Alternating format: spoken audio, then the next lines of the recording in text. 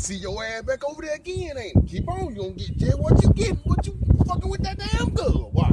Yeah, we back over there because she had my goddamn money this time, Terry. She had my $20. She wanted to borrow again, but I won't let her have it. What? Yeah, she want to borrow my money again. I told you, you ain't borrow my goddamn money. How she gonna goddamn pay you and then turn around and borrow it again, Melissa? Because see, she ain't had the damn money for the stamp. And she said, well, just let her keep the $20 and she'll give me the money next month. Hell no, I need my goddamn $20. Next Mary Ann- month? Hell yeah, Mary Ann crazy hell, Terry. I ain't fucking with that bitch no more. I'm through with Mary Ann.